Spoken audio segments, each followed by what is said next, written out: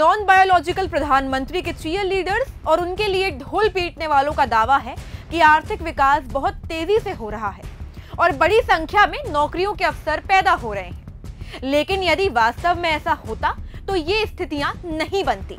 निजी निवेश आर्थिक विकास का एक प्रमुख इंजन है। ये अप्रैल जून 2024 के बीच 20 साल के निचले स्तर पर था।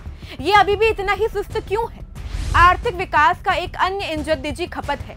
यदि उच्च स्तर को छोड़ दे तो यह क्यों तेज़ी से नहीं बढ़ रहा? है घरेलू बचत गिरकर रिकॉर्ड न्यूनतम स्तर पर क्यों पहुँच गई है? और घरेलू कर्ज रिकॉर्ड ऊंचाई पर क्यों पहुँच गया है? ग्रामीण मजदूरी में गिरावट क्यों जारी है? और राष्ट्रीय आय में मजदूरी का हिस्सा क्यों घट रहा है? जीडीपी में मैन्युफैक्चरिंग की हिस्सेदारी रिकॉर्ड निचले स्तर पर है। और अभी भी क्यों घटती जा रही है? पिछले सात वर्षों में असंगठित क्षेत्र में 17 लाख नौकरियाँ क्यों खत्म हो गई है? बेरोजगारी 45 सालों के उच्च स्तर पर क्यों पहुँच गई है? युवा स्नातकों के बीच बेरोजगारी 42 प्रतिशत क्यों है? ये मूलभूत समस्या है जिनका आने वाले बजट में समाधान ढूंढना चाहिए।